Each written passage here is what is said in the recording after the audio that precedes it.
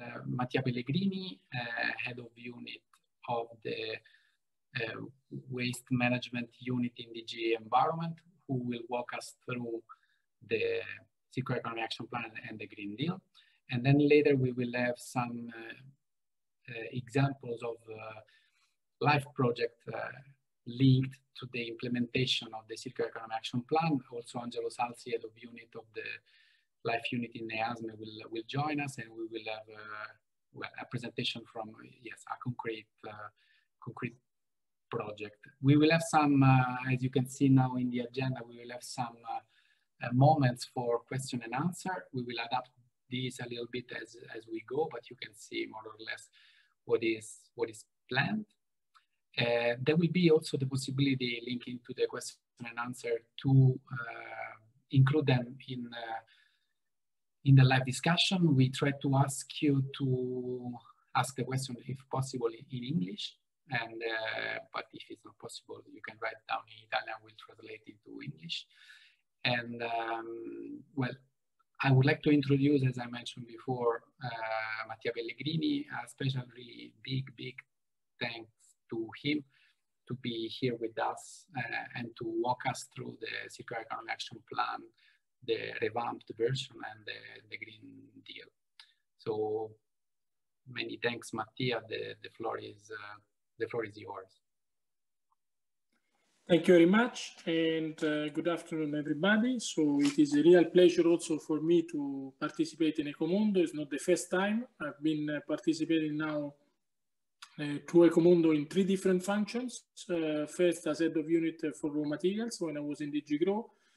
Then as head of department in DG, sorry, in um, the executive agency for small and medium enterprises, so EASME, where um, my colleagues uh, for life they work at the moment, and now as the head of unit for uh, waste management. So it is a real pleasure. It's by distance. Uh, for me, is um, I mean, just to give you an idea of how important I do consider that, uh, today is actually the first day that I've restarted to work, although I'm still on normally on sick leave until next week. Uh, because I had a small accident um, almost now 10 days ago. And um, so I have some uh, broken ribs. Um, and uh, but um, uh, even with broken ribs, I can I can manage it. And as I said, it's a, it's a sign of attention uh, for me. Um, so before we go to the Circular Economy Action Plan 2.0, I suggest that we start with the Green Deal. Um, so what is really important is that uh, this uh, the new Commission von der Leyen uh, really changed the, the, priority setting. As you know, each new Commission has to identify what are uh, the uh, political priorities for the mandate of the Commission, which normally lasts for a period of uh, five years.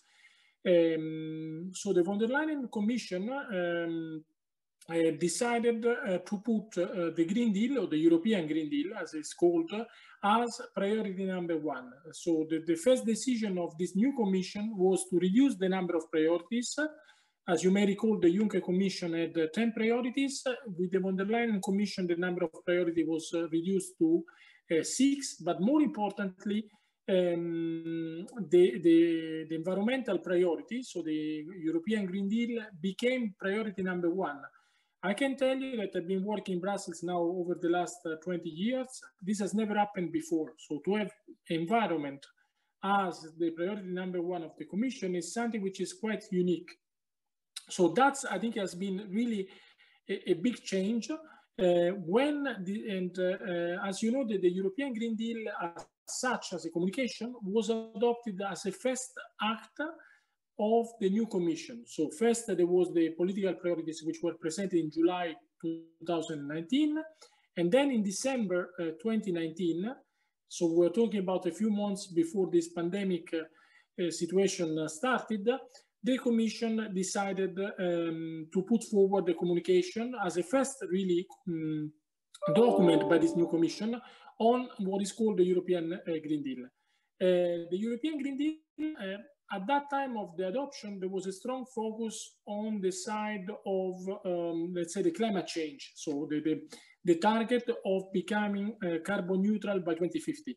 But when you look at the Green Deal, I don't know if any of you has had the opportunity to, to look into it, you will see that there are different chapters and climate change is only one of the chapters. So there are other chapters on biodiversity loss, other chapters on zero pollution, and other chapters on circular economy. So circular economy is one of the eight pillars of the uh, Green Deal, of the European Green Deal. So of course, all these targets, uh, they will contribute also to decarbonizing Europe by 2050. Uh, but I just wanted to underline, uh, I think is an important point, uh, um, this, this point about the fact that um, it's not only about climate change, but it's about many other environmental uh, priorities.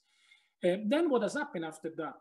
a few months later, on the 11th of March, the Commission um, decided to adopt on the same day the Circular Economy Action Plan and the new European Industrial Strategy. Uh, why this is extremely important? Because that was a clear sign that uh, the circular economy and the new industrial strategy are actually two sides of the same coin. So at the same time, so it's a new industrial model for Europe. And that's the reason why when the Green Deal was adopted, the, the, the, our president said that this should be a, the new industrial model of Europe. So indeed, we're not talking about only environmental protection, we are really talking about a new way of doing business. And it's the only way for Europe uh, to compete. Um, so the, the, Circular Economy Action Plan is often called uh, the CEAP, so Circular Economy Action Plan. Normally it is referred as 2.0 why is called uh, 2.0? Because normally if you call it 2.0 it's because there was a version 1.0. Indeed, as you may be aware, the, already in the last commission in 2015, there was a first circular economy action plan and uh, made actually of a very long list of, of proposals, uh, 54 actions in total. And uh, um, it is probably, again, based on my experience, one of the very few cases where a, a strategy by the Commission was implemented from A to Z. When I say from A to Z, is because out of the 54 actions which were foreseen in uh, 2015 of, in the first Circular Economy Action Plan, all of them have implemented, have been implemented at a um, speed record time. So that's, I think, is an extremely important sign of commitment in this area of circular economy. Now, why to do a second action plan on circular economy action on, on the circular economy uh, from a circular economy point of view. Uh, because indeed, although all the 54 actions were implemented, there are two things. One, that there were still many action, additional ones to be done. And secondly, is because the numbers are very alarming. So to read the first few paragraphs of the Circular Economy Action Plan to get the, the, the, the, key numbers, which will explain to you why there is a need of an increased number of measures in this area of circularity. Always uh, quote, I mean, uh, I always like to make things uh, simple, so I always quote uh, uh, three numbers. So the first number is the following. Um, so as you know, we are only one planet, but we are consuming as three planets. So if we continue the current uh, trends, by um, 2050, we will need the resources which are available in three planets and not one. As you know, as you probably imagine, this is not an option. So there is no other choice than uh, to make a better use of resources because we cannot allow ourselves to um, reach 2050 and to be consuming as uh, three planets. The second number which always quote again, is waste generation. If we take waste generation from now to 2050, there is not only there is no decrease, there is an increase of 70%. As you know already currently now, the management of waste is creating really serious, uh, serious problems in Europe and in the rest of the world. There are articles every day. And you can imagine with an increase of 70%. But more importantly, is that not only waste is likely to increase by 70%, the other side of the coin, and I know this pretty well because now I'm in charge of secondary raw materials, but uh, in my previous life, I was in charge of primary raw materials. So I've been on the two sides. So I know the market uh, pretty well over uh, the last, uh, yes, 10, 11 years. Um, on the side of extraction of primary materials, the trend is also extremely alarming. So the, the projection says that um, from now to the next 40 years, the extraction of, of valuable materials will double at least for each of them. But sometimes it's much more than the double, but already a double, you can imagine what impact can have. So first trend, as I told you, we cannot allow ourselves to consume as uh, three planets. Second trend, a huge increase of uh, waste foreseen and a huge increase of extraction. And finally, and more importantly, I will also add, is that uh, based on the statistics we have in the Commission, only 12% of the products which are put on the market are circular products. So although Europe is seen in the world as the leading country, the leading continent in the field of circular economy, we are still very far from being a circular economy. So only 12% of our products which are placed into the market are circular. So that means that 88% of them are linear. So they, they go through the normal system. And why this is the case? Because they are designed already from the beginning in the wrong way. And that's the reason why the focus of the new circular economy action plan is also on the design of the product not only on the management at the end of the process of the waste, but also on the design of the products. And indeed, this allows me to, to, to, to, to go through the main chapters of the Circular Economy Action Plan. As you know, the Circular Economy Action Plan is made of uh, six uh, chapters, the new one. Eh? I'm talking about the Circular Economy Action Plan 2.0. But I would like to concentrate in particular on the first uh, three chapters uh, which are more familiar to the work I do on a daily basis uh, now. So the first chapter is a sustainable product policy. So the idea is to really, as I said, to make uh, to, to, to, to make sure that any product which is placed into the European market, it is a circular product. It may be seen as a revolutionary idea, but it's not a revolutionary idea. It can be achieved very easily, actually, step by step. Of course, I mean, nothing is easy in life. But uh, as my um, former director general used to say, uh, even uh, when the Commission, the European Commission, a few years ago, no, se now several years ago, decided that all products uh, that are placed into the market should be safe, uh, this is a condition which has been realized. As you know, there is a, a directive which is called the General Product Safety Directive, which uh, ensure that any product which is placed in the European market, uh, it is safe.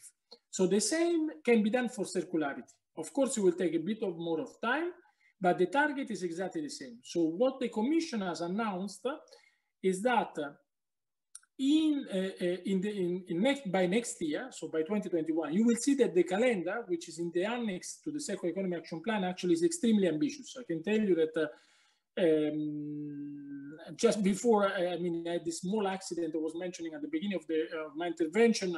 I mean, I always work a lot in, in my different jobs in the European Commission, but honestly, the, the, what I have now as a workload is not comparable to any of my previous position.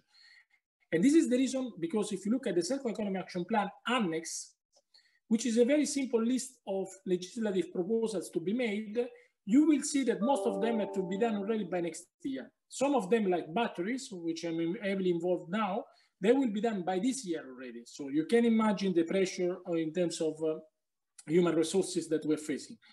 Uh, but now let me go back to this issue of uh, sustainable product policy. The idea is to revise by the, uh, by the beginning of next year, or let's say by next year, uh, the Eco Design Directive. So to uh, change the Eco Design Directive, as you know, there is already an Eco Design Directive which makes sure that any product which is placed into the market has a certain requirement from an, an energy efficiency point of view. Now, the idea is to extend that type of criteria to cover the entire environmental footprint of a product.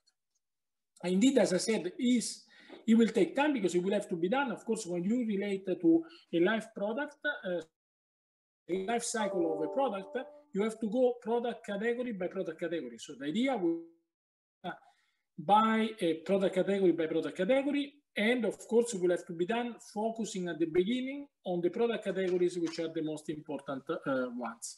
Uh, the second element is uh, the, um, the, uh, the, the, focus on uh, key value chains.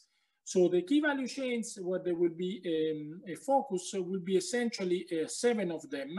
So the first one will be the ICT value chain. So all the area of mobile phone or um, digital devices um, to make sure that they're circular. And by the way, um, we're also working, my team, on a proposal on a take-back scheme for mobile phone, because as you know, there is already a WEEE directive, which is about electronic electrical waste. But the idea is also to cover take-back scheme. The second area will be the area of um, mobility and batteries. And um, indeed, as I was mentioning, we are almost ready to present uh, a, a, new proposal, a new revision of the batteries directive into a batteries regulation. When I say batteries, the, the, I, I, don't have today the time to go uh, into all the details, but I just want to let you know that the new batteries regulation will actually um, cover the most important category of the future of batteries, which will be the lithium ion batteries and will contain a number of very interesting features, such as, uh, for example, mandatory recycled content uh, for um, batteries which are placed into the market, notably mandatory recycled content for lithium and cobalt, or, for example, uh, it will also contain uh, a carbon um, uh, footprint, uh, a, a, a, carbon footprint threshold. So the idea would be that starting from a certain point, only batteries which they uh, perform uh, uh, above a certain level in terms of carbon footprint will be able um, to be present to be put in the market. I'm actually very happy that the colleagues of Life have chosen one project of Life which is dealing actually with the management of um, lithium batteries. So um, this proposal will come out uh, most probably uh, between now and uh, December. I cannot give you the exact uh, timing because there is still um, discussion at political level, but I think at the latest it will be the first week of um, uh, December. and of course, if there are questions, I can come back on that. The third value chain of importance will be packaging. Um, we are preparing a, a, an extremely a big revision of the packaging directive uh, by the way, the stakeholder consultation, it is ongoing. So I invite you to go on our website of DG Environment. You can actually submit your opinion uh, until the beginning of January. I think it's the 6th of January, if I remember correctly. I can tell you that uh, on packaging, I receive dozen, uh, dozen and dozen of um, uh, letters, uh, emails, even from individual citizens, because packaging is actually uh, close to the heart of, of any of us because we are dealing with packaging every day. So that's uh, batteries is a bit, a bit more complicated indeed, but packaging indeed is close uh, to the heart of, of many of us. Uh, so indeed, uh, but the three main areas of intervention will be one, to reduce over packaging, two, to make sure that all products, uh, all packaging, sorry, that will be placed into the market will be either recyclable or reusable by 2030. You may be aware that many of the packaging products which are put on the market, they are neither reusable or recyclable. So the idea will be to work on the essential requirements of packaging, which are set out in the legislation, in order to make sure that whatever is not reusable or recyclable goes out of the market. So in other terms, it is restricted and prohibited. Uh, and finally, also very important, uh, is to work on waste prevention. So not only to make sure that uh, packaging is reusable and recyclable, but also make sure that packaging can be reduced and prevented. So the idea of, of, of waste prevention. Um, the other areas where we'll be working, so packaging was the number three. Number four will be plastics, in particular the area of microplastics. I can come back on that. Then textile, why textile? Because this is a very big value chain, which is not at all um, circular at the moment, it's very linear. So the idea will be also to have a new target for recycling and reuse in the Waste Framework Directive. At the moment, there is no targets. Um, the other things will be also the um, construction and building, where also there uh, we would like to have a new target uh, uh, in construction and building um, for in the waste framework directive. So at the moment, also at European level, there is no construction and building target neither for recycling, neither for reuse. And finally, also the area of food. Food waste, as you know, is another big trend, negative trend. We're also working with our colleagues in DG Santé to come up with a new uh, target by um, a new target by also normally 2024 with the revision of the Waste Framework Directive. So to put in another way, uh, in the next revision of the Waste Framework Directive, we are going to include new um, product value chains, which are really important, such as textile, construction and demolition, and food, which at the moment are not covered.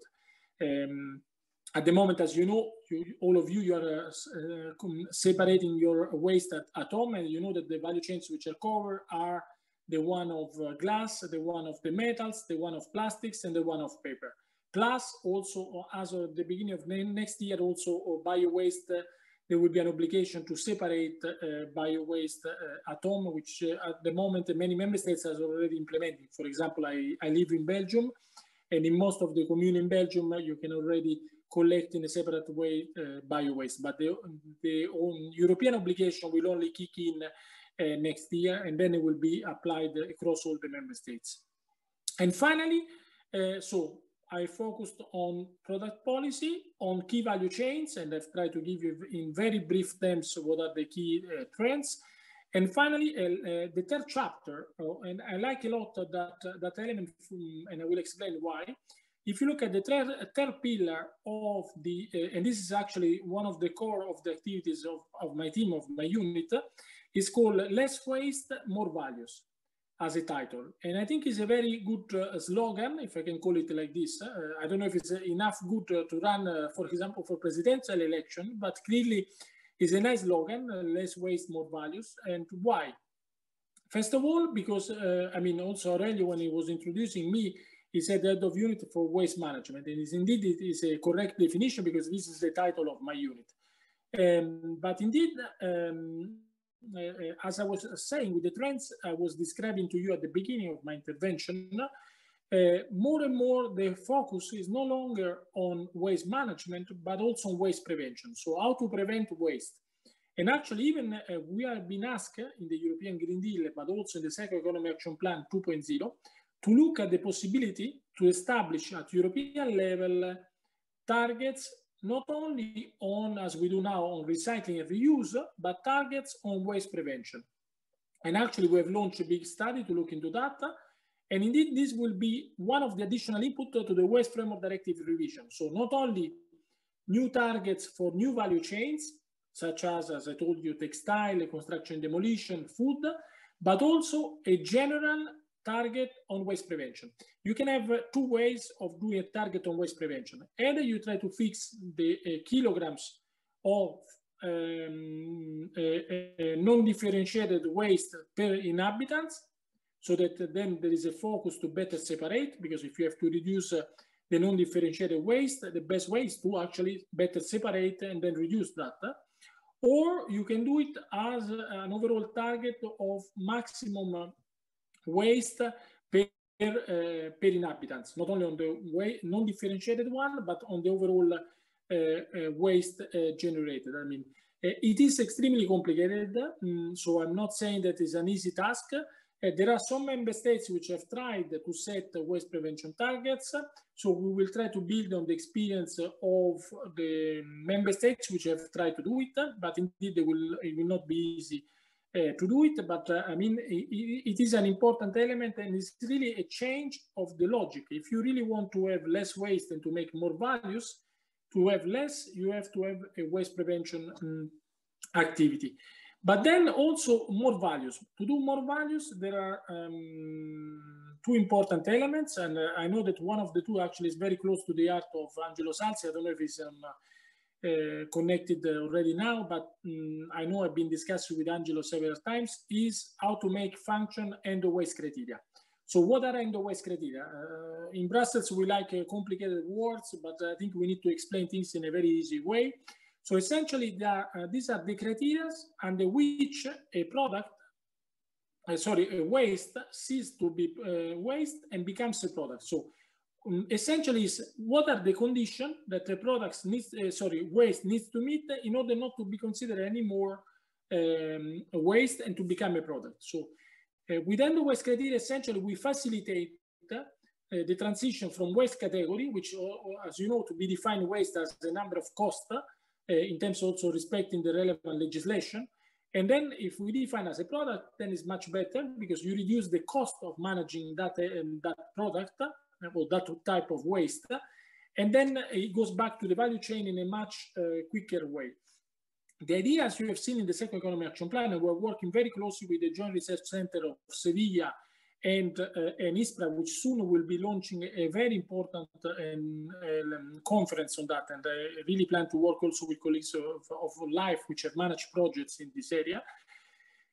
The idea would be to um, really try to establish value chains for which we will establish end of waste criteria at European level. Because what we have seen until now is that uh, this, op this option is already in the Waste Framework Directive, but most of the end of waste criteria have been done at national or regional level.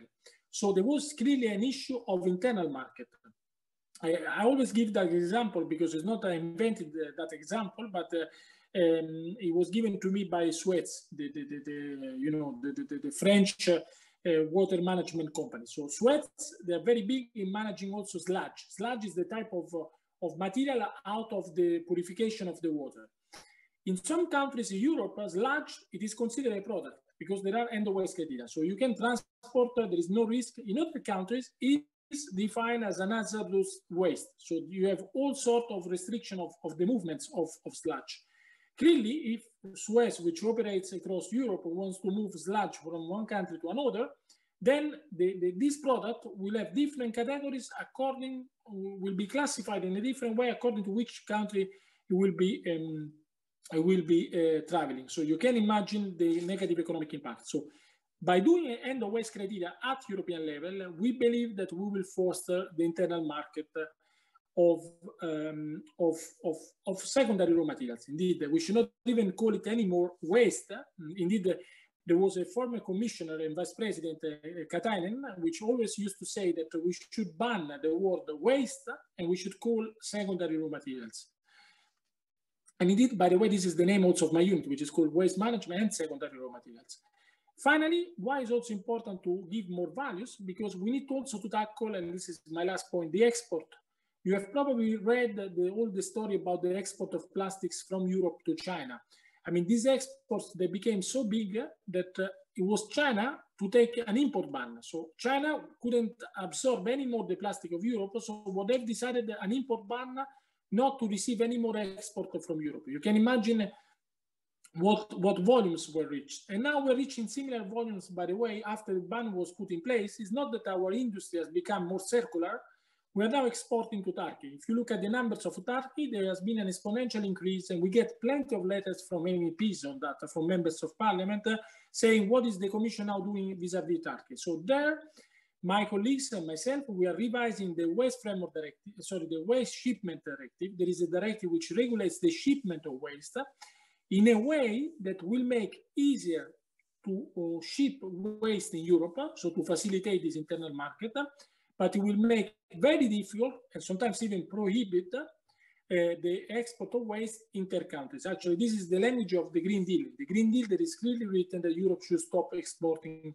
um, valuable, uh, valuable secondary raw materials. So that is the last area that I wanted to mention under this uh, chapter, less waste, more values. As I mentioned, there are another three chapters uh, in the Circular Economy Action Plan, which is circularity for regions and cities uh, and people, and uh, um, cross-cutting actions and leading efforts on the uh, at global level in the field of circular economy. Um, there will be no time to deal with all the rest, and also I thought that it would be more appropriate for me to talk about the first three chapters because this is the uh, the bulk of the activity um, of my team, of myself, and uh, what, what I spend my my days um, and my weeks. So, but as I said, I mean, on any of these questions, uh, if there is any question or um, clarification, I'm more than happy to, to take the questions.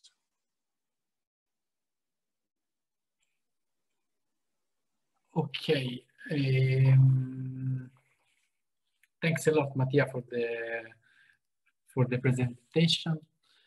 Um, we we do have a few questions. Maybe my my first question.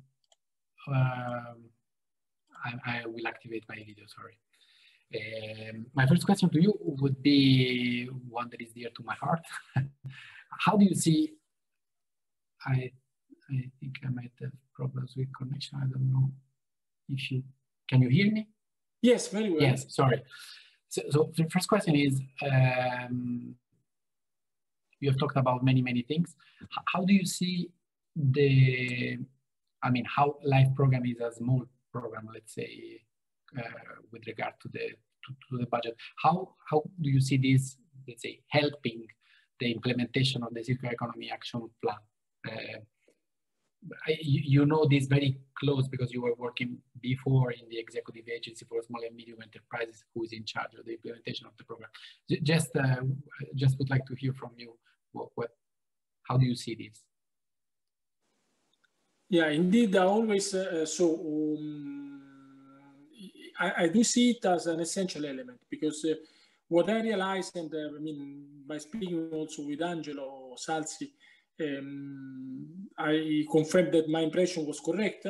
I realized that there was uh, not enough connection between the work of my team and the life uh, um, and team. But this has been historical apparently, because uh, um, as I mentioned, I was uh, mentioning to you what I call an avalanche of legislative revision, which are foreseen, uh, like a tsunami, as I call it. Uh, I mean, of, of, of, um, of legislative changes, but many of these legislative changes requires financing.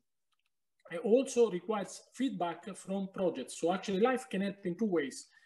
In helping us to build the new legislation. So for example, I want to give the example, a very concrete example of secondary raw materials or end of waste criteria. You have been financing with life lots of projects on end of waste criteria. The, um, the, the, the, um, one of them, uh, actually the one on um, on uh, now the English word is uh, uh, you know, and I should know the English word because I'm using this now on a regular basis because I have a newborn child of uh, three months old, uh, little girl.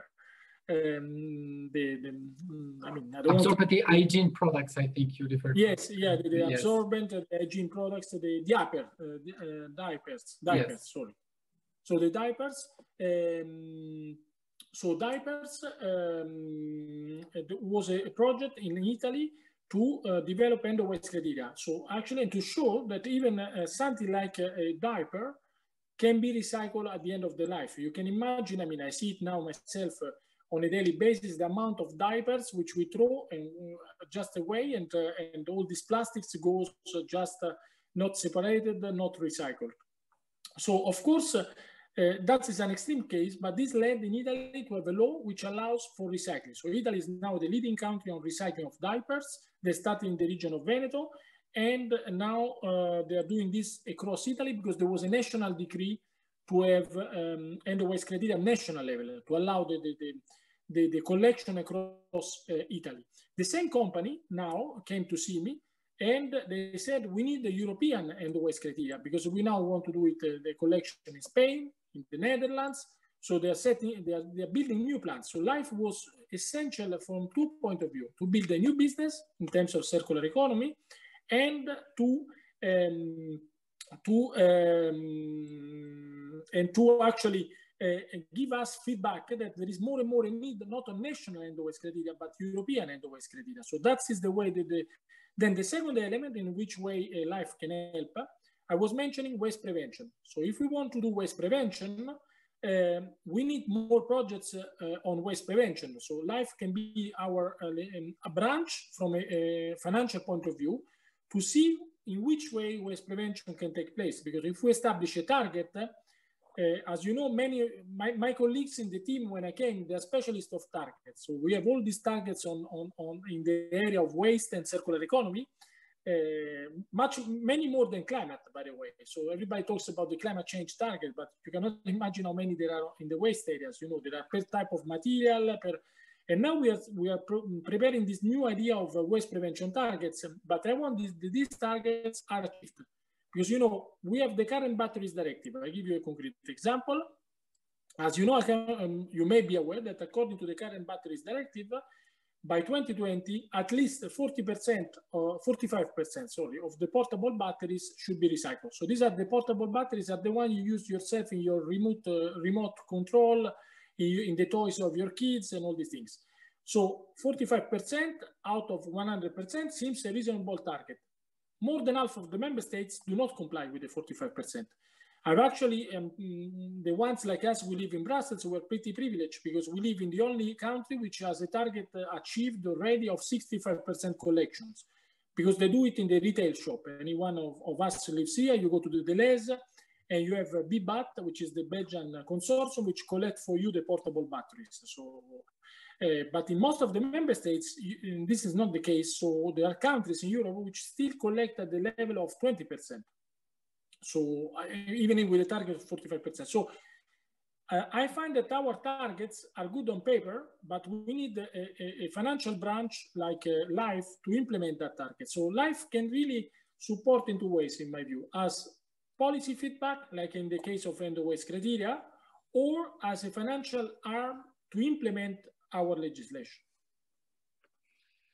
Uh, it's good to hear that you think uh, that life program can can help although again uh, in terms of substance in terms of financing is a kind of a small drop but uh, well the example you gave it's really um, a kind of success story that we were able to kind of change uh, or contribute to change of, of waste management uh, of end of waste criteria in Italy and, and, hopefully also in some other countries. One question we have linked to this, Mattia, you meant you are mentioning that, and rightly so. Actually, I'm very glad to hear this. That you were thinking about uh, having uh, kind of, if I can rephrase it, European type of uh, end of end of waste criteria. I, I didn't. Maybe I was distracted, but I didn't get. Do you have a timeline for this? Do, do you know when this will be possible? You were talking also about a re re reviewed waste framework directive. I guess it would be in that context. Do you have a timeline already for this? Yeah, so the, indeed, I've seen also there was a question uh, suggesting that. I will also take the question of Angelo on um, waste, uh, um, uh, on reuse and repair.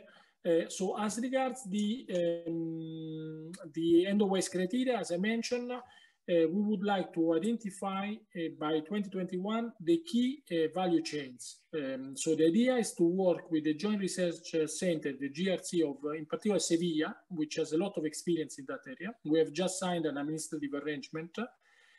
And then um, they, they are likely to organize either before the end of this year or beginning of next year, a big stakeholder conference where we will invite all the value chains and we will uh, get uh, candidates for um, preparing um, a list, a first list of uh, value chains. So for example, I don't know, steel or paper. I mean, we have already plenty of candidates.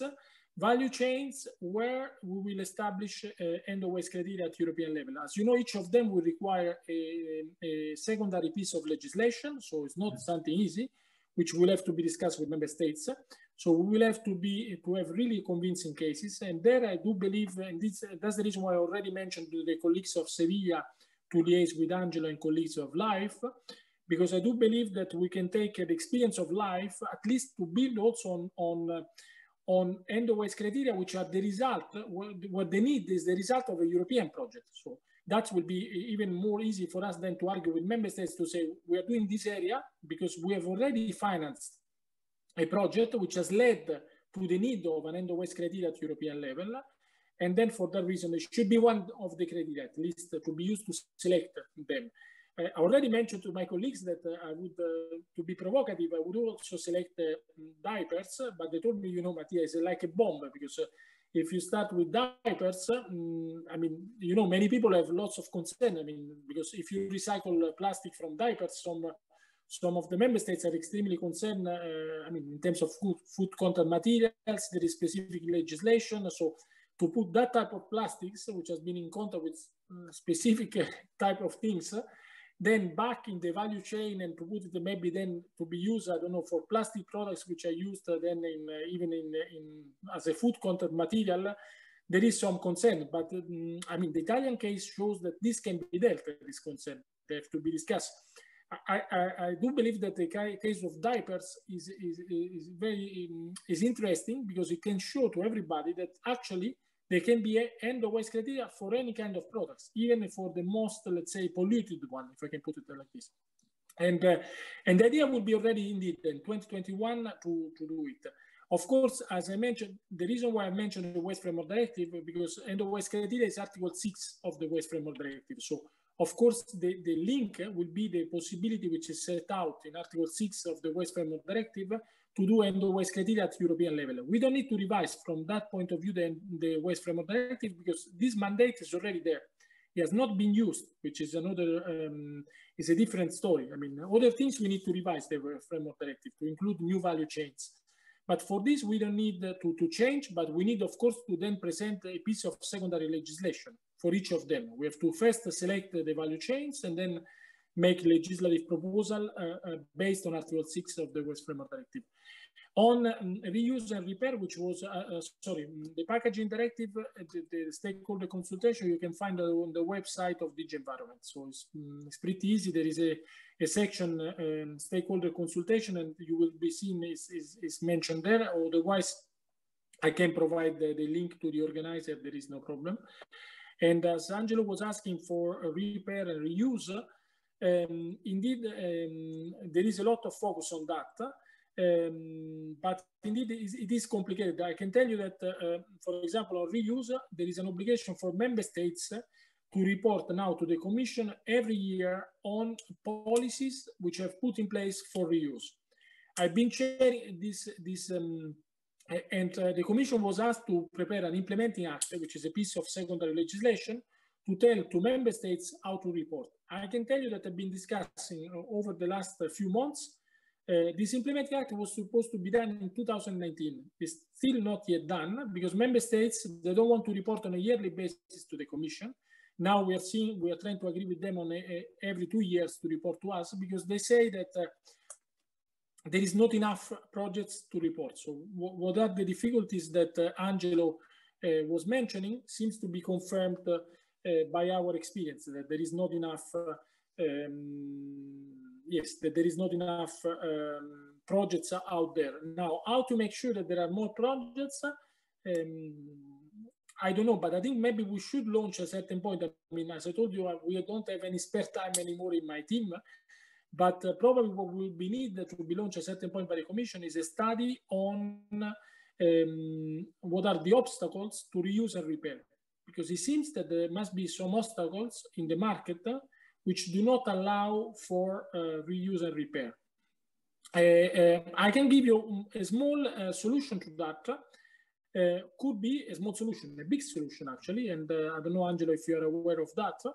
Um, but in the new, in the Circular Economy Action Plan, and it will be done by the, our colleagues in DG Justice, it will be done next year, they will come up with the first ever legislation on the right to repair. So again, uh, many of you, mm, and I always says that we don't know how many benefits we receive from European legislation. So as you may be aware, the guarantee that you get on two years for any product you buy, when you buy your computer, you buy whatever, you buy your bed at home and all these things, you have a guarantee minimum of two years in every country in Europe. This is a European directive. It's not because member states have done it, it's one of the many good things that Europe does. The same apply to, uh, it will now be for right to repair. So our colleagues in DG Justice, uh, the former DG For Consumer Protection, they are now working on a new piece of legislation to give, like you have a right um, for, for, of a guarantee on your product, you will have a right to, of the product to be repaired because we have seen that there are too many cases of refusal of repair. So that could be one obstacle. And that now should be solved with this new piece of legislation because now people, mm, the, the producers from, where, from, from which you have bought, when this piece of legislation will be in place, can no longer refuse to repair. And, and this right has to be done at also at affordable condition as is written in the circular economy action plan. So that could be one of the way to remove that uh, obstacle, these obstacles. Uh, okay, thanks, Mattia. Uh, actually, another couple of questions. One is, I, I, me personally, I found very interesting the, the we have been talking about eco design, sustainable design for quite some time now in different ways with the existing, let's say, uh, regulation. The, the, as, as for repair and reuse, talking from the project management point of view, we don't see so many projects dealing with the design that is linked basically to products that have uh, as you were saying before, you know, you consider the environmental dimension along the life cycle. We don't see so many projects, probably because it's difficult and probably because there are contradictions from this point of view in the sense that maybe a product that is designed to last longer uh, economically, not necessarily it makes sense. So what I'm saying is that it's, it's very interesting. It's very, uh, it's crucial for, for circular economy to design products already at the, at the initial stage to last longer or to be uh, circular. But how do you see the, the contrasting forces to this? Uh, the, the, the, how do you see also the, say, the industries, the economy, I guess you, the economic actors you are in contact with, the companies, how, how, how what is your feeling about this? I mean, because there is a, a, kind of inherent contradiction in this from the economic point of view, or there could be. Indeed, um, I think is the um, what we know from companies is that what they want, they want always a life cycle assessment. So what they want, um, if we go for um, longer products, they want to, to um, indeed, I mean, for example, we were in touch with Apple now several times because we're also preparing this, um, as I told you, initiative on uh, collection of mobile devices as a, a side initiative of the WEEE directive. And essentially what they're telling us is the following, as you said, is the uh, provided whatever measures that we do, they would like that is based on a life cycle assessment of the product. So that we don't say a priori that the product only because it lasts longer, it is better, but they want this to be proved. Um, because, for example, Apple, what is telling us is that by um, substituting uh, more um, energy and uh, um, let's energy and uh, and, uh, and, and yeah circularity performance devices so that they're better. Um, by substituting at an early stage they make more savings than by waiting for it. So that's that's the way they try to explain why they, they, they phase out all devices very fast is because they believe that from a life cycle point of mm, view you do more um, more benefits uh, than that. So this is a bit what they um, what we, we try to do is always, uh, and that's the reason why uh, um, all this new uh, change of the eco design directive, which will um, be changed in order to have a new circularity element, will have to be based on the PEF. Uh, PEF is the environmental footprint. So uh, which is done per each category of the product. So for example, I give you an example of the way um, the, the, the, let's say the pilot case will be batteries that have been working, I don't know, nights and days over the last uh, few months. In the batteries proposal, I cannot give you all the details, but I can tell you the way we're constructing the new legislation. So on this specific area of uh, carbon footprint, the way we've been working, also discussing extensively, you were asking Aurelio the discussion with companies. We've been discussing extensively with companies. And, and uh, as you know now, there are new batteries produced in Europe. Notably, there is uh, Saft in France and Northvolt in the Scandinavian countries. These are two massive uh, new batteries producers. So the landscape is changing. Now, when you discuss batteries, no longer Tesla and the, the Asian countries, it's also big European producers which are coming up which are catching up actually with a number of gigafactories. Uh, and uh, just to give you an idea how the landscape is changing, when I started uh, this batteries proposal, it's not ages ago, it was I joined this unit in December of last year, we were talking in our impact assessment, which we were preparing, about a situation where there will be around 10 to 12 gigafactories in Europe. Then we have moved to a situation where there will be between 10 and 20 gigafactories in Europe. And now in the last version of the impact assessment we have done, we estimate more than 25 gigafactories in Europe. So that gives you in a matter of few months, with the amount of investment which is taking place, what is happening in this market of uh, lithium-ion uh, batteries. In that case, the way we're, doing, we're working with companies, uh, so in this area of uh, Eh, the, the, the, the, environmental footprint related to eco design, is that we said, okay, we do in three steps.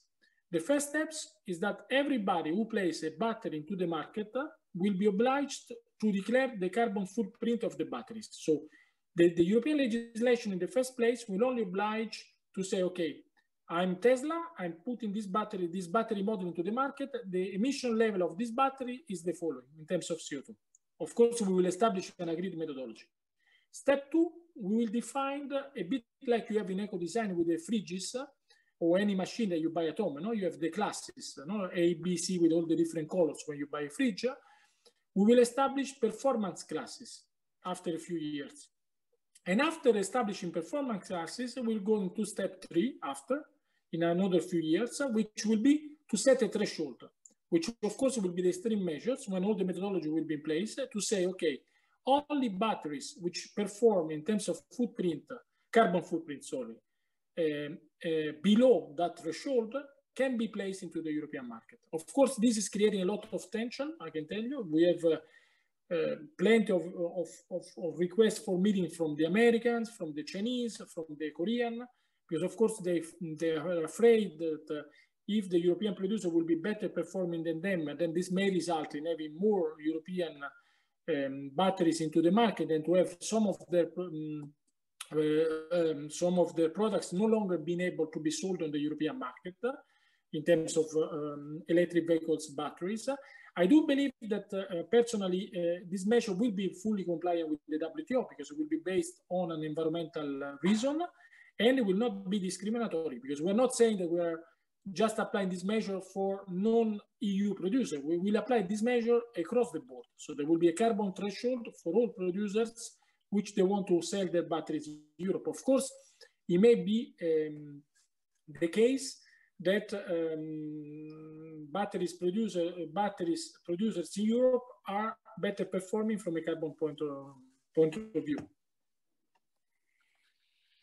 It seems to be quite uh, interesting way forward, and uh, actually, I don't envy your position in the sense that this is really complex. It's uh, we see it also dealing with the project. This is complex because it deals with the different type of interests that are not only uh, evidently environmental related, are dealing with the economic interests of companies, of sectors across different value chains. It's really, really complex. And actually, it's really ambitious what you are describing. So it's, uh, uh, me personally, I'm looking forward to, to, to, to I can tell you that the, the, the, not to scare anybody, but um, actually the first one to be scared is my, myself because uh, I, I, finally I see that even the cabinet of the president of, of von der Leyen is now listening to what I was saying uh, over the last few months, because um, I, I, always uh, made a joke, which was not a joke, that the new batteries regulation will require an entire unit uh, to be managed for two reasons.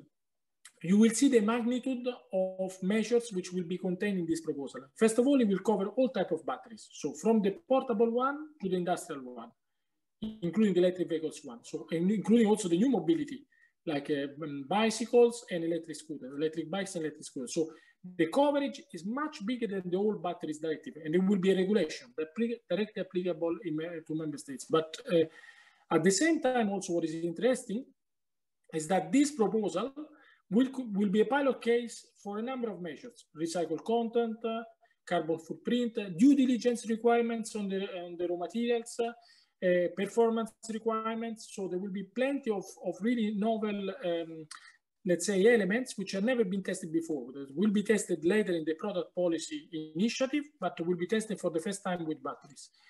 And finally, um, and more importantly, uh, only the batteries proposal at the moment, uh, if you count at the moment, there are 36 pieces of secondary legislation to be developed.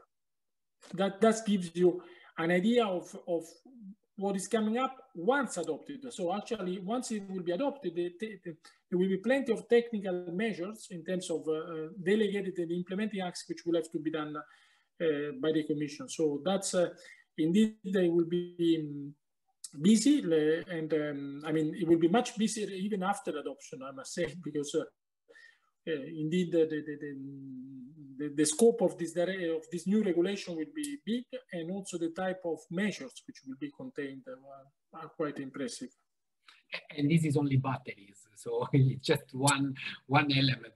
There was a comment actually, not sure, I, I guess it was from uh, some Italian um, well, colleague uh, connected saying that uh, we are quite slow in terms of uh, regulation or development, but the complexity of this is, is really is, is, extreme. What you just mentioned and the figures you mentioned are just linked to the implementation of, of well, the adoption of one regulation linked to battery, and then we have we have all the rest. Um, just one comment going back before to the discussion about repair, reuse, or let's say, projects that deal with the prevention through design, we, we evidently welcome uh, such projects uh, in, uh, in life because they, they would really also show kind of that a different way is possible compared to waste management or to simply to say so, uh, recycling. I just have one, uh, maybe, um, we are a bit ahead of the schedule, but this is not a problem. Actually, it was very nice and, and clear overview. Um, I just have one maybe last question from my side. Um, and I actually I would like to share then the link to the packaging consultation because I, I found it. But the, the last question is, uh, how do you, okay, you identify different uh, key value chains in the circular economy action plan. What, what is the, let's say, how do you get the, the, the, the, the apart from the official consultation of the industries, of, of the economy, of these value chains that are touched by by these potential, let's say, pieces of, uh, of, of, of, legislation, of regulation, or soft or hard measures, let's say. Uh, what, what is the way you interact with them apart from, you know, formal consultations? Because also this is complex. Indeed. So that's, uh, um, I can tell you what um, Daniel Calleja, which was my former director general, when he called me to, to I mean, he really wanted me to, to to move from EASME and join quickly this unit because the, the, actually the, the, the, former head of unit of this unit was appointed the deputy head of cabinet of, um, sorry, there was a small interruption. He was appointed the deputy head of cabinet of uh, Vice Executive Vice President Timmermans. Uh, and, uh, and he told me, you know, Mattia, when you will come to this unit, you will realize that you will do more industrial policy in this unit than even in DG uh, Grow. And indeed, this is the case. Um, this unit were uh, managing probably, for me at least, from the way I am myself, which the, the unit in the environment, which are um, the, the highest amount of contacts with industry, because essentially, so, um, and on that for me comes quite natural. So I really spend a lot of time, uh, even bilaterally, to participate in, in, discussion with them. I mean, as I told you on batteries, uh, in addition to the stakeholder consultation we did, we had uh, in uh, this was over the, the, the um, Easter um, uh, um, Easter, let's say, vacation period. Uh, we didn't have any single day of uh, vacation in, in, Easter with my team and also this summer, by the way. Um, and, uh, and this was because we had six days of stakeholder consultation, mostly with industry, on each of the components. So every single half day was devoted, I don't know, carbon footprint, due diligence requirement, uh, mandatory recycled content, uh, green batteries. So we have done each of the components in detailed discussion. And you really need to discuss with them, as you said, uh, Aurelio, because this is extremely complicated. Uh, these people, they, they, they, they, they I mean, they, they, know the market. So, uh, and I must say that, um, you know, I, I used to work almost 20 years ago now in the environment. Uh, in another uh, team. I mean, in another, uh, I mean, I mean, I was dealing more with international relations, but I always had this idea that in the environment there was not enough discussion with industry. Actually, it was one of the weak points in my view. But in this team where I'm now, I must say, uh, while on, on co cooperating with Life uh, to push them a bit more, and we've achieved fantastic results now. I mean, like, uh, Angelo knows very well, even in terms of changing national legislation and writing letters signed by me to, to member states. Uh, I mean, we had a fantastic case in Italy again. Uh, but beyond that, uh, I think even more importantly, um, the, I mean, on that, there was a need of improvement on the connection with life, but on the connection with industry, there was no need of improvement. So my um, my team, I must say that each of them, they, they, they have regular contacts. Uh, uh, they know exactly all the business. Uh, they, they, they meet regularly with them and they know that they have to listen. So I found uh, really people which are, on, from that point of view, very well uh, equilibrated and they know how to take into account also the, the concern of industry um, indeed, because we, we, we, are extremely ambitious from an environmental point of view, but we also want to make something, that, as I was mentioning before, there is no point to have a target that no one can achieve. So um, I give you, again, a very complete uh, target. This new, direct, this new regulation on, on, on, batteries, among the many different measures, will also set the new, uh, when I say new, is because in the old directive they were not, um, recycling efficiency targets for lithium. Um, so uh, in establishing recycling efficiency targets for lithium, our cabinet was pressing um, for extremely ambitious uh, levels where we know that they will never be uh, met by industry in the, in the market. So, and there I found that myself and my colleagues, when discussing with the cabinet and even with our commissioner, there were all of them on my side to say, okay, we have to do something extremely ambitious, but it has to be also taken into account uh, what is achievable from an industrial point of view. So I must say that um, indeed there is a need of uh, constant uh, discussion with industry, but I felt that the, the, level of discussion with industry is very good. So the, I don't feel that uh, there is not enough discussion. Packaging is the same. I mean, the amount of time I spent uh, with the um, companies uh, from, uh, I mean, from Ferrero to Procter & Gamble to Unilever to the small ones to Amazon. So I, have been speaking over uh, retail forum, all sort of, because I know that, um, I mean, we need to do it in a way that um, can be achieved. But of course, the, the parameters are very clear. This is what I'm saying to everybody. Packaging, the parameters are very clear. We don't want any more products which are not reusable or recyclable. We don't want any more over packaging.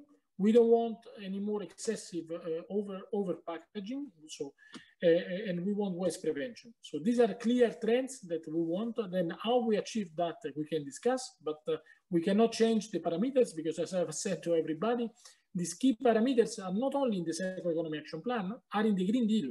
In the Green Deal, there is already clear languages on packaging. So that is a bit, uh, the advantage now is that um, with, the, the, with, the, with the commission which has put environment so high in the agenda, I can go to industry and say, you know, I'm ready to discuss, but these are the conditions for discussion, which was not the case before, because the case before was whether we should be doing something or not.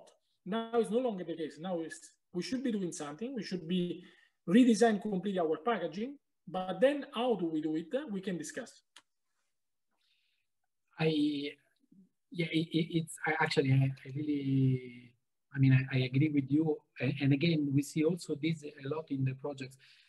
Uh, let's say we are fundamentalists of the environment, we can say so. But if we don't match this type of concern with the reality of the economy, things will, will not work. So, uh, and I think this the, the concept of circular economy with regard to this already the fact that it includes the world economy it matches the concern of the environment with those of the economy because otherwise we will not, I, I, think we will not get there. We see a lot of excellent technical projects that have no clue of the conditions of the market, how to place a, a product on the market. So this kind of uh, dialogue that you were referring to and that you are implementing with regard to the circular economy action plan, I think it's really key if we want this transition to a more circular economy to, to happen. Otherwise, it will simply, in my personal opinion, it will simply not uh, not happen. I will, uh, since you were discussing and, and talking about uh, the consultation on the packaging, I just show uh, quickly, uh, I just share quickly the, the page. Hopefully these people can see this. So this is the link, but it's enough that you Google packaging uh, consultation and you, you, will you will land on the on on, on the page. I have actually. by the way, Aurelio, let me also stress that if you go back to the title, again is another example where the title of of the consultation is quite clear. I mean, it's a reduced packaging, so that's a.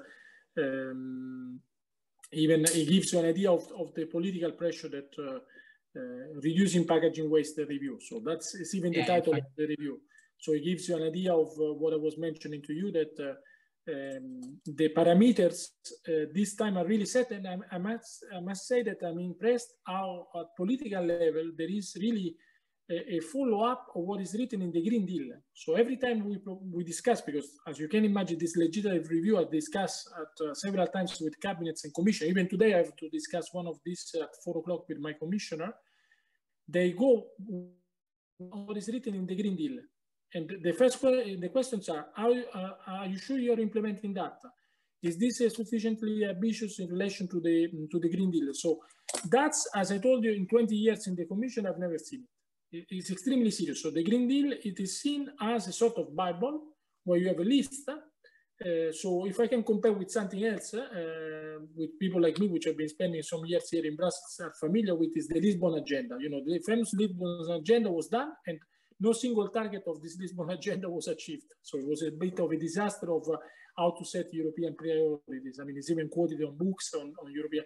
I can tell you the Green Deal, I have the impression that it will be something different. I mean, it's really something that on the climate change, on the zero pollution, on the biodiversity, on the circular economy, on all the different pillars, there is really a dedicated follow-up and, uh, and really in terms of timing, you have pressure that uh, you know, for example, batteries, as I told you, it was in the Green Deal, there is even a deadline for the batteries proposal. It's October 2020. Again, something which I've never seen before in a framework communication that you put the deadlines for individual legislative revision. And I can tell you that to get a bit of extra weeks, I'm not talking about extra month, a few extra weeks to, to maybe do it by end of November, beginning of December, it has been a, a nightmare because we had pressure and, uh, and you know, and as you know, the environment is not the biggest DG in terms of uh, HR from an HR point of view. So to implement all of that in a small DG is quite challenging. Yes, I, actually we see it. I mean, we I should mention also that we deal a lot with you, with your unit, and we see how uh, actually how busy you are with, uh, with, with all this and understaffed. I, I have just one last question, and then uh, we free you up, especially considering you need to prepare for the meeting with the commissioner, as you mentioned. The, the, the last question is, again, going back to, to a certain extent, the, the, the role of life. You, you were mentioning before about the implementation of the right to repair initiative. Do, do you think that, I mean, life can play a role in, in this, in, in, in having kind of uh, demonstrative projects linked, linked to this? Evidently, yeah, it, it's also, I'm talking loud, but I'm talking also to people that are listening to us uh, in, in, terms of uh, possibilities to apply for, for life. Do you think it's something where life again could help? Indeed, uh, I do believe yes, and I think uh, I will facilitate that. Um, I mean, I know that Angelo has always uh, creative ideas, and uh, always, I mean, I mean, with all the experience that Angelo has, he's, he's, the perfect person to bridge between the the commission and the executive agencies. And, um, and uh, indeed, I think it will be an excellent idea. So I will put you in contact with the with the colleagues in the DG Justice, uh, which are in charge of consumer protection, which are uh, developing this new legislative initiative. And I think they can, indeed, I think if we can prepare already the ground with some LIFE projects on right to repair, I think will be also important because I think it will be also important because, you know, um, you know, the, the, we don't know, or, for example, if that obligation, I mean, it's not my team is working on that, but uh, we, we are in touch with them. And uh, I mean, that obligation will have to be put either on producers or on, ter on third party uh, repairers. So it will be also important to see what is there in the market and how this can take uh, um, take place. Already, by the way, in the batteries proposal, so as I told you, we're using this batteries uh, proposal as a sort of a pilot case for everything. There is already some, there will be, when you will read it in a few weeks time, there will be also some provision on uh, right to repair. And uh, even the, the, the, even the way the batteries are integrated in the device. So to make easy for even a third party repairer uh, to uh, replace uh, the batteries. Um, uh, it may be a, a simple, uh, small um, article on that, but I can tell you that it's an article which is creating a lot of uh, concern on some big, uh, let's say, mobile uh, producers, which, uh, yeah, because not always the lithium-ion batteries which are contained on your mobile phone can be easily, let's say, replaced by a, a, a third-party um, repairer. So that's although I mean, I'm receiving a lot of papers by a specific one individual company showing to me how this can be done, um, although it may seem very difficult when you look at the specific uh, uh, mobile phone, but how they can be done um, in an easy way. So that's, uh, but it's clearly that we know that there are on the market uh, some mobile phone which are uh, where mm, you, you, can easily dismantle the batteries and there are others which it takes between uh, six to 12 hours to do it. So that's, um, this is actually a, a, very good example of what we were discussing before. I mean, this kind of uh, trade-off between uh, possibility to repair and uh, it is it is um, it is a complex a complex matter. It is uh, and not not easy to foster this type of also I don't know to say it's not a culture, but it's uh, this kind of attitude to circularity of products. Uh, it's, it's uh, what you were just mentioning now about the batteries of the, the mobile phones. It's a, a very good example of this complexity and of these uh, diverging interests. Uh, I would say, okay, you receive uh, the thanks from Angelo about the possibility to put us in contact with the colleagues of DG JUST for the right to repair initiative. Uh, I would say that um, we thank you very much really considering, let's say, the specific circumstances under which this presentation has uh, taken place, also your personal circumstances and uh, considering how busy you are. So really, really many thanks. I would just like maybe to, with the audience, to share kind of, uh, we adapt slightly the, the agenda, I, I, would say, uh, we, we were foreseen to, well, start with the next block. My suggestion would be it's now uh, quarter past three. Let's have a like 15 minutes break. So we come back half past three and we continue with the session. Uh, actually, also Angelo Salsi will join us uh, live and we will have presentation of this LIFE project that actually is dealing with batteries. Good to really that we have matched uh, this project with the upcoming uh, battery regulation that uh, Mattia was referring to. So many, many thanks, Mattia. Um, good luck for the um, quick implementation of all these uh, initiatives under the Circular Economy Action Plan. Thanks a lot. Really thanks. Thank you very much. Have a nice day, all of you, and I wish you the best for the rest of the uh, of the afternoon. Thanks a lot. Thanks, Mattia.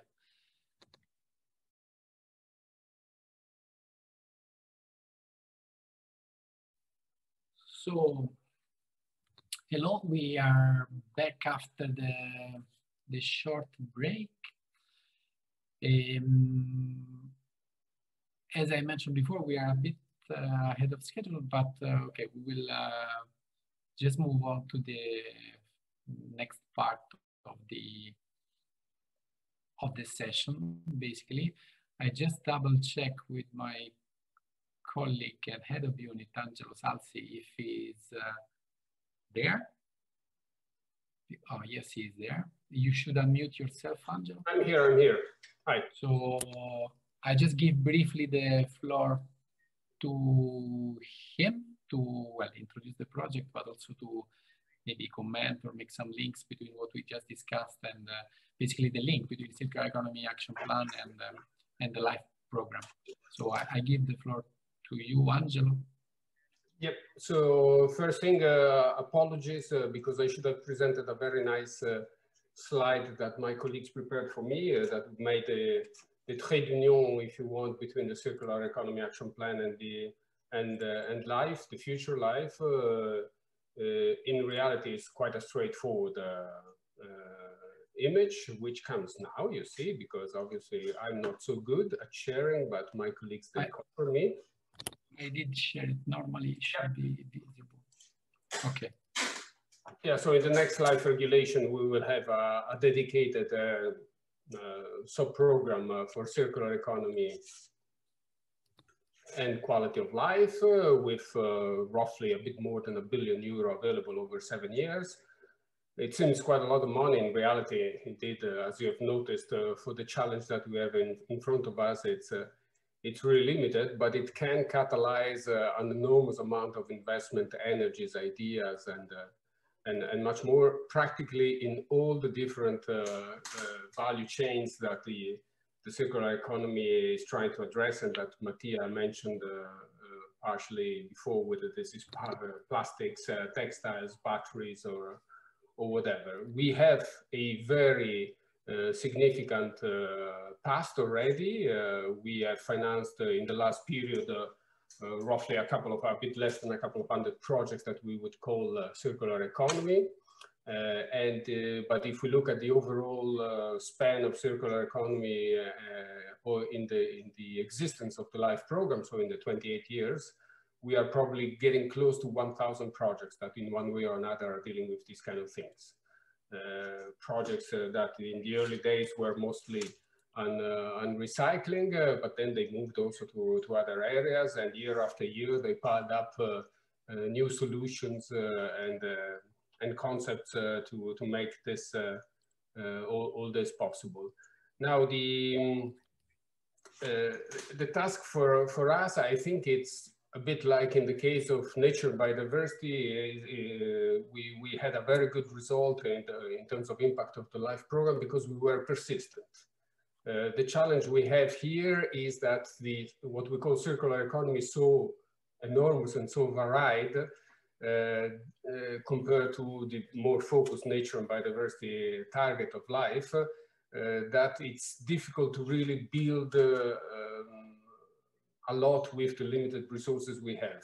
But persistence shows that in certain sectors we, we can make a difference. We had uh, areas like uh, tanneries, uh, paper mills, so several sectors of our economies where the number, the sheer number of life projects made really the difference. And in some cases, one single life project made a difference. so I'm, I'm confident that we will uh, still be uh, a, key program uh, for the for the next seven years. And with this, I would like to pass the word to one of our beneficiaries that will share with us her experience uh, concerning a particular life project, the Life uh, Libat project.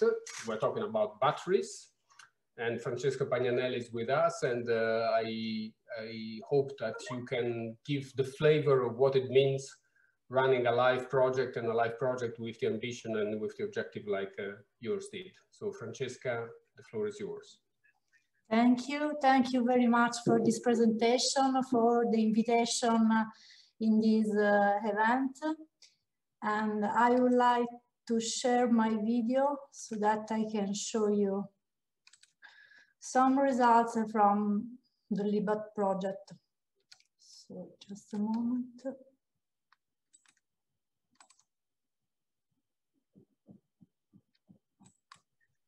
Yeah, we can see it. Okay, that's okay. So good afternoon to, any, to everybody. Um, in the next 10 minutes, I would like to show you some results about this project, the Life Libat project. This is a, a project regarding the recycling of primary lithium batteries using mechanical and hydrometallurgical operations. The project location is Italy. We have a total budget of 1 million and 400 euros and the project started in, uh, in July 2017 and uh, will end uh, in December 2020 with a, a possible extension. The project beneficiaries, the coordinating beneficiary is Eco Recycling, which is a spin-off company whose main mission is technology transfer in the field of new process for treating waste and wastewaters. Uh, the associated beneficiaries are Seval, which is a, a company um, dedicated to the recovery of WEEE and batteries, we waste of electric and electronic equipment. And then we have the Department of Chemistry of Sapienza University of Rome, the research group of theory of the development uh, of chemical process, uh, which is main uh, involved in the development of process for valorization of wastes and wastewaters.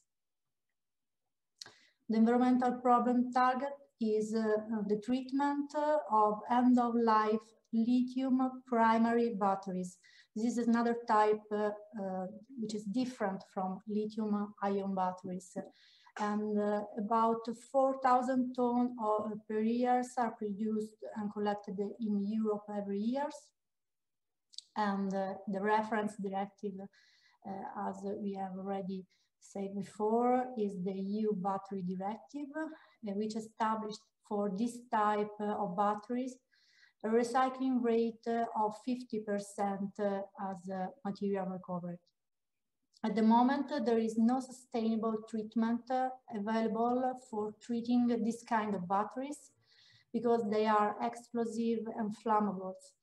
And then actually uh, lithium uh, primary batteries uh, are now a cost rather than a resource for battery collectors. Uh, today, uh, these batteries are fed to conventional pyrometallurgical plants which are not specifically dedicated to the treatment of such wastes. Uh, as a consequence, uh, um, all non-metals, uh, plastic and papers uh, are burned and uh, all, metal, all the metal content, uh, iron, lithium and manganese are slagged. So there is no recycling for this type of batteries in conventional pyrometallurgical plants. In this project, we are proposing an alternative hydrometallurgical treatment specifically developed for batteries. And this is an environmental friendly process because it operates in water, so in mild conditions temperature. And it allows the integral recovery of all the components of these batteries. So the main object of the Life Libat project is the demonstration of this innovative process for the treatment of lithium primary batteries. According to this general aim, we have different objectives. So first, design and construction of a prototype for the demonstration, the evaluation of the product quality, the assessment of the economic feasibility, the scalability, the transferability of the proposed technology even to other kind of wastes, and environmental and social assessment. In May 2020, we finished the construction of the prototype at several sites. Here you can see a picture showing the different section of the pilot. We have in the green square the gas treatment section, in the yellow square the cryomechanical section, in the blue square the separation section and in the orange square uh, a part of the hydrometallurgical section.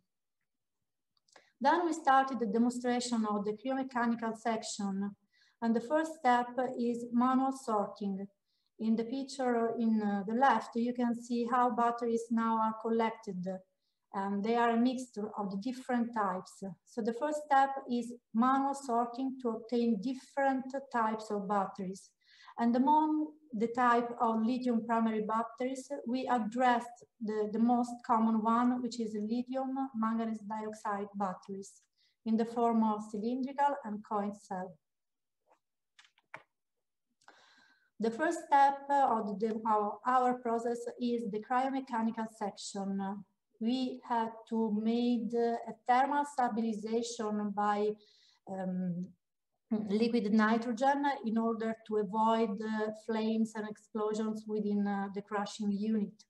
And then we have a sequence of physical operation for separating the different um, fractions from these uh, wastes. And they are plastics, uh, the electronic powders, uh, and the um, iron scraps. Iron scraps can be directly recycled for production of new steel. And you can see YouTube uh, mm, a movie regarding the the, the operation of this section. Now we are doing the demonstration of the hydrometallurgical section uh, in which we take the electronic powders and uh, we treat by different chemicals in order to extract metals and recover both lithium and manganese as products. Here you can see an example of the recovery of manganese and its separation by filtration. During this project, we would like to assess uh, the um, environmental impact uh, of this process, the LIBAT process, in comparison with the other processes such as the pyrometallurgical ones. As I told you before, there is no possibility of recycling lithium primary battery with conventional pyrometallurgical process. So for this comparison, we used an innovative type of pyrometallurgical process in pilot plant in which uh, um, uh, is included the lithium reduction, evaporation and condensation, and then the possibility to recover uh, manganese from the slag using leaching as we did, as we did, as we do in the LIBAT project. And here I show you just uh, an overview uh, using an environmental performance index uh, which account for the different impact categories that are normalized and weighted according to the different process. And you can see that uh, the pyrometallurgical process working at high temperature uh, for uh, allowing lithium evaporation have a big impact on the uh, environment due to energy, energy consumption, which uh, cannot, uh, cannot be sustained by the recovered materials by this process.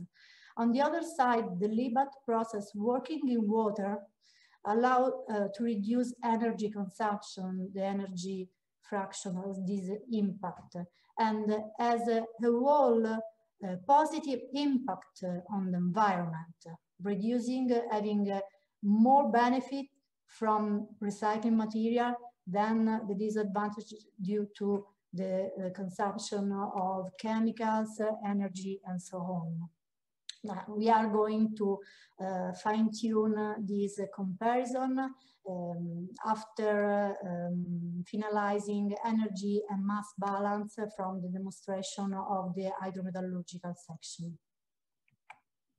And also, we, we, are talking before about uh, the battery directive and uh, its uh, implementations. Um, just uh, to recall you that in the battery directive, which is the reference for this process, um, we have a different uh, target for recycling rate and uh, we have a target for lead containing batteries, which is 65% uh, recycling rate, 75% for cadmium containing batteries, and then for all the other types of batteries, we have a recycling rate of 50%. Within this class, we also have lithium primary batteries. And now there is no specific target for the recycling efficiency of the components or the elements in the battery, such as lithium, cobalt, and so on. Then this poses some limits uh, for uh, the transition towards sustainable process uh, because, for instance, if uh, we have just one class of batteries, including uh, uh, different types, I can achieve the recycling targets without treating the less diffuse types, such as lithium primary batteries. And also the heterogeneity within, within this class of batteries can compromise the optimization of new process, which require a defined composition of the feed material to be optimized. Then having no specific target uh, on the metals uh, means that uh, I can reach the recycling rate without recovering light component, such as lithium, which is a critical raw material. So possible solution, uh, we already hear something uh, about uh, this in the previous presentation. we see that we will have more types of battery and also that we will have specific recycling rate for different elements, such as lithium and cobalt uh, in lithium ion batteries. We, we propose that we, there could be also perhaps uh, some types uh, of color code in order to assess the main chemical um, constituents of batteries.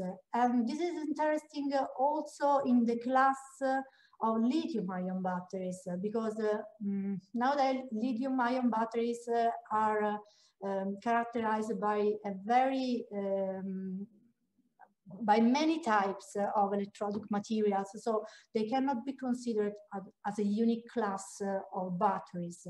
So introducing a, color bar, uh, a color bar, for instance, uh, for uh, batteries rich in cobalt, uh, for batteries rich in nickel, in nickel and so on, can help again the optimization of the development of new process for the treatment of these wastes. And always regard, again regarding lithium ion batteries, uh, within the Life Libat project, we perform a transferability uh, activity, which is using the same uh, process for treating also lithium ion batteries. And these are the reference technology for portable electronics, uh, but also for hybrid and electric vehicles, uh, and also for stationary systems of uh, energy accumulation. Um, they, uh, this type of battery contain three main uh, types of critical raw materials, not only lithium, but also cobalt uh, and graphite. And within the laboratories uh, of University La Sapienza, we develop a process starting from uh, the um, electrodic powders treated uh, in the Libat cryomechanical, cryomechanical shredder and develop a process for uh, recycling and producing new batteries starting from end-of-life lithium-ion batteries. And I will invite you to see the video uh, with these interesting results. we, at the moment, are a laboratory scale for the synthesis of the electronic materials.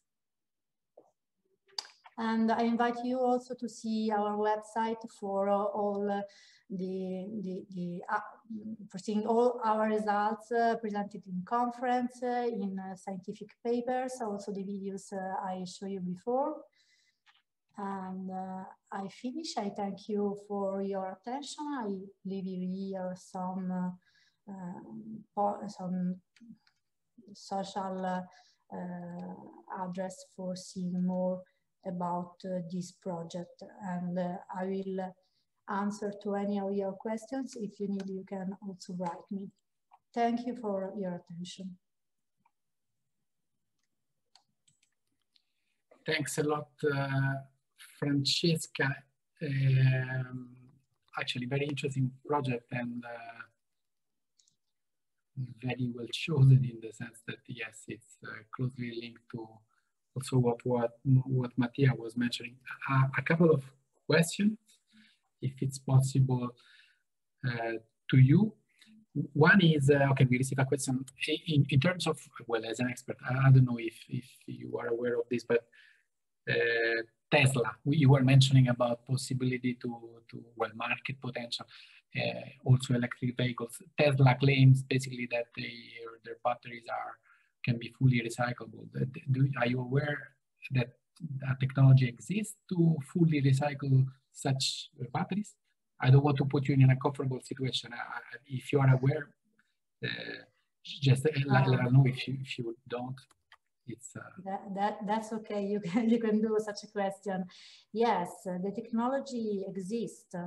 And uh, I think that uh, in the case uh, of batteries for hybrid and electric vehicles, the, the, the task is even easier than with batteries from portable electronics especially because uh, you have a specific kind of batteries. You produce these batteries for your vehicles, and then you can uh, mm, design these batteries according to the, the, the, end of life then you can have robotics, automated robotics for the disassembling of such batteries. And then after this disassembling, you can go for classical hydrometallurgical process, uh, something like I show you in the, in the slide. So the technology exists and in the case of uh, uh, car batteries is even easier to apply it. Okay, are, are, you, aware, are you aware of the fact that uh, treatment plants, uh, as you described with that technology already exist? Uh, do, do, you know? Are you aware of this? I, I know that Tesla has, um, this is a, a, public information.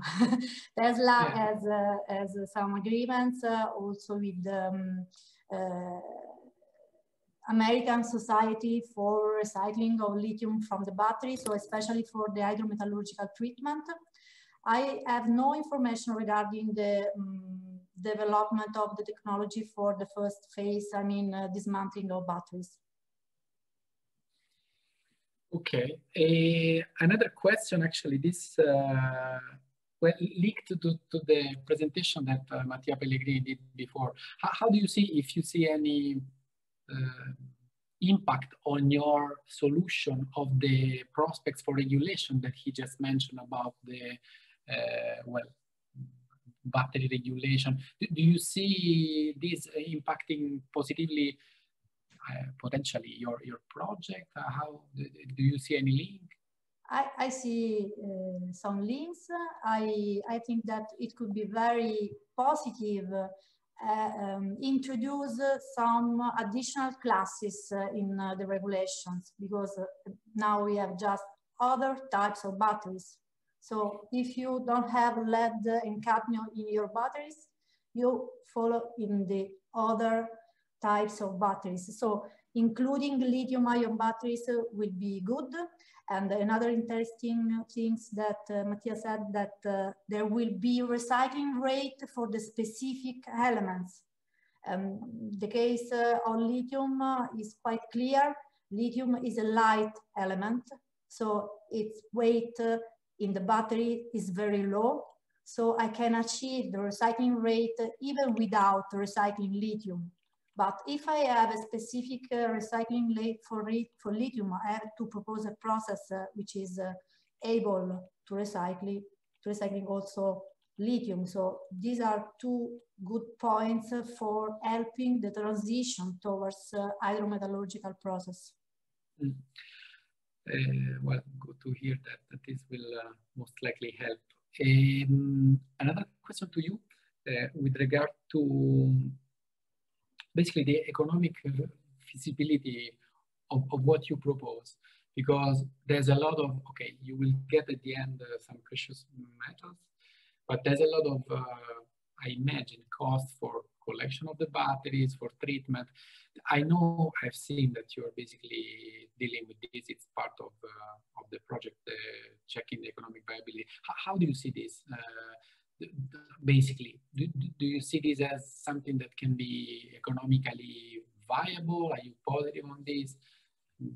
Evidently, I guess you are, but just I have to answer in two different ways because in the LIBAT project we are addressing lithium primary batteries and these are um, not so diffuse kind of batteries and now they are a cost for the collectors. They have to pay these pyrometallurgical plant owners to treat in their plants these batteries.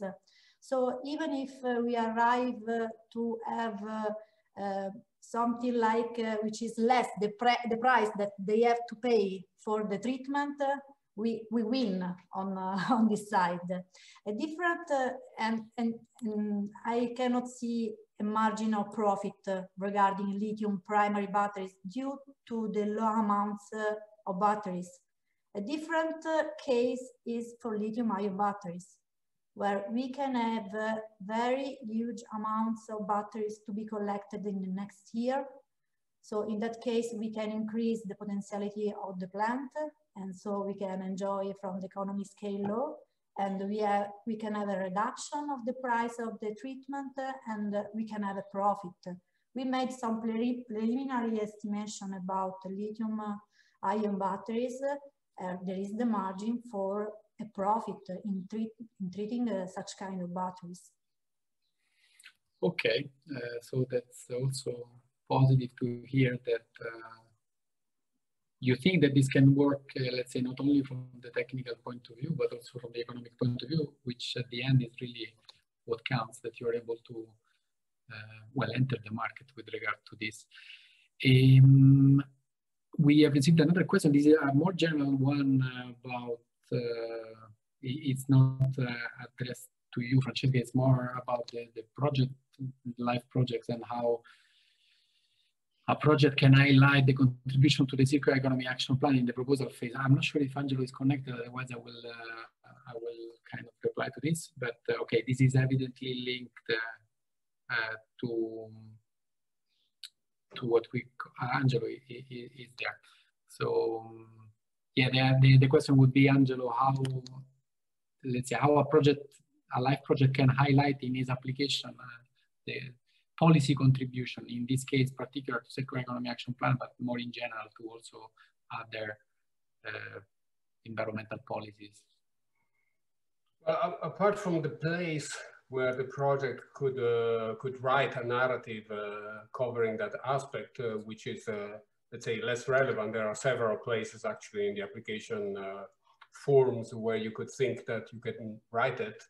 The the the the, the challenge for the applicant, uh, which by nature lives obviously uh, in, uh, in, in their own given context, whether this is a company or an organization, a region, uh, is that they normally do not think, and it's, it's quite obvious, uh, immediately in policy terms or in new policy terms. Uh, so we always try to push them in, in, in, that direction, trying to give them hooks. And it's not only a question of uh, identifying the piece of legislation that uh, you should refer to, like uh, this uh, project implements the directive XYZ, or it's relevant for the regulation, whatever. That's important, but the trick is really getting into the content of that policy and identifying the particular feature of that policy that that project is trying to address. So if, for example, we're talking about batteries, uh, they tell us that we have to reach a certain target and industry or, or the, the whole value chain is unable to reach that target and the project is trying to solve one fraction of that problem, that's where the problem should talk policy. So by saying I'm trying to implement that kind of legislation, that kind of legislation has set a target. We have a number of obstacles in reaching that target, which are A, B, C, D, and I'm trying to address at least uh, problem A and B to solve it in my particular value chain so that later on the implementability of that policy is, uh, is possible and, and possibly makes a step forward. That's the kind of policy jargon that we need, or on the other side, identify hurdles uh, that exist even in a policy itself that make it impossible for a given sector to uh, apply what the policy objective is. We were talking before about end of waste. The problem that a lot of the uh, decisions about end of waste are, uh, uh, are territorially linked because the, the, member states themselves, or even in some cases the regions, have the, the power of deciding on what is a material after a, a process. Uh, makes it very difficult to circulate and replicate your given technology, even if successful at European level and sometimes even at national level. And this can be a burden. So you are not going to invest money in a venture knowing that uh, you will have a regulatory process that might even block you from going further. So you, you have to think in those terms and believe me, there are single life projects that were able to change like the one we mentioned this morning, uh, this afternoon, sorry, that were able to change pieces of legislation, whether this was the national legislation that transposed the, the EU legislation or even influenced the future legislation uh, adopted, uh, adopted in Brussels. So it's not so far away that as many people could think of. Uh, thanks a lot, Angelo. And uh, evidently, well, as uh, as Angelo mentioned, th there are different, uh, let's say, parts of the application forms where you can highlight the link to policy, and uh, uh, th there's a correlation between how well you explain this and what is the impact, and basically what we call in the life good award criteria. So there are specific award criteria that are linked to giving, let's say, additional web points simply to proposals that score that, that describe well what is the contribution. So in this sense, um, there is a place and there's a kind of reward for this. Um, I think we're coming to the end of the session because I see that there are no uh, additional questions. Actually, I would like to really thank uh, uh, Francesca for well, taking the time to join the session, to explain the project and to also to answer to some of the questions. Uh, I turn to Angelo for some, uh, say, final remarks, if you have uh, any. Otherwise, I would say that a little bit uh, in advance, uh, considering the initial schedule, I, I would tend close the session. Well, that's, uh, Mattia. yeah. I, I can only use the, the final remarks uh, to, um, how can I say, to, to lodge uh, a plea and, and to invite the people to uh, to reflect carefully about the best use of uh, the, the, the, little money that, uh, that we have available. The, there are certain areas like the one that Francesca just highlighted where we clearly have a gap still to cover. And it's, a, and it's a huge thing and it touches our own individual responsibilities because we were talking about uh, commodities that we are using every day and we simply dispose at the end of it. Uh, but uh, it, uh, it requires a lot of work also from the companies and the social responsibility and all these kind of elements. The, and this touches the usual circle of circular economy, which is called recycling. So it's the lowest one. It's not end of pipe. It's better than nothing. But uh, there are still two circles uh, that I mentioned before with Mattia that are very rarely touched upon uh, in, uh, in life. And this gives me the feeling that uh, limited activity is taking place on the ground. And Mattia sort of confirmed that there are a number of obstacles. Uh, and we're talking about the reuse, repair, and refit. Th there are projects which are ready to go out there simply if we wanted to do it. If you think about the uh, incredible experience that is available now in many parts of Europe and, and the repair cafes, the problem is that these elements, they are sort of based on voluntary uh, um, developments uh, with some help from the local uh, authorities, uh, but there is not really a, a, system in place that allows them to, uh, to, to, to, to go on in, and, and to scale up. Uh, then you have the, the, the classical thing of the individuals that want really, they desperately would like to get the repair done. And Mattia mentioned to us the, the right to repair. But the right to repair, to become really true, has to be advantageous uh, and, uh, and possibly uh, this goes through a fiscal aid. Think about a governance project where a country uh, or a region, if they have the authority to, they could start thinking about defiscalizing the labor that goes into circular economy. Because one of the biggest hurdles that we have is that when the guy comes to our house and has to repair the, the washing machine, our technician uh, clearly says, ah, sir, madam, uh, there is the pump that is gone. It's 60 euro for the pump and 200 euros for my work. It will be 250. If you invest another 100, you buy a new machine. And if you buy a new machine, by the way, I'll discount my time that I invested here. So that's the way the system performs today. And we're talking about big commodities and big appliances. We're not talking about small things. The small things, let them alone and nobody even goes to a repair one. But it's, uh, so we have to think out of the box and have the courage to invent LIFE projects that address these these kind of elements uh, to really bring uh, right reap off all the benefits of this idea of circular economy. You have the behavioral element, you have the fiscal element, uh, you have the, uh, the whole value chain to be addressed. I was telling uh, to Mattia that we could think, for example, about a project where you have one or two leading companies that starts using, using the life money, they start testing the implementability of the right to repair. Because even for the companies themselves, it's not that easy. It's not for granted. You have to keep a stock of the, of the parts of the machines. You have to start uh, designing and producing your machines in a way that they are indeed repairable later on in, in an easy way or refitable uh, with new technologies. So uh, all, all, in all, uh, I think there is enough for each of us, private companies, public, and, uh, and we uh, sitting in Brussels to, to think in a, in a humble way, to have big ambitions because we need them, but also to think in a very humble way because it is not sufficient to put out a, a piece of legislation. That's a first step, but then you have to make it true. You have to make it real, and that's where the, the real stuff comes into place, and that's where the project like the one by Francesca, they can really they can really help. So with this invitation uh, to you, I, I wait for the beautiful life projects of the future already in 2021. Yeah, well, actually, it's a big, big pledge for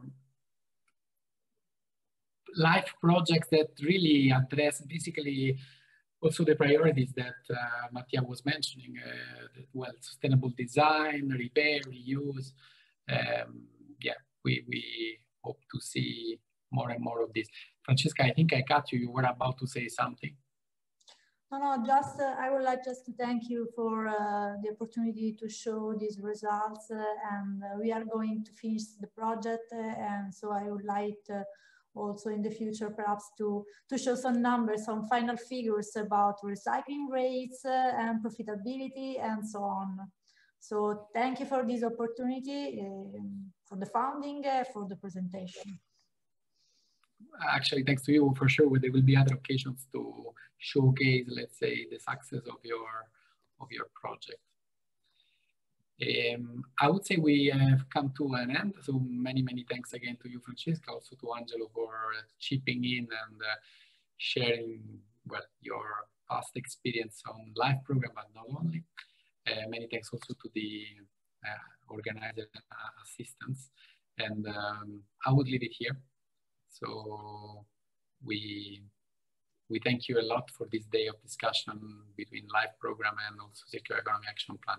Many, many thanks.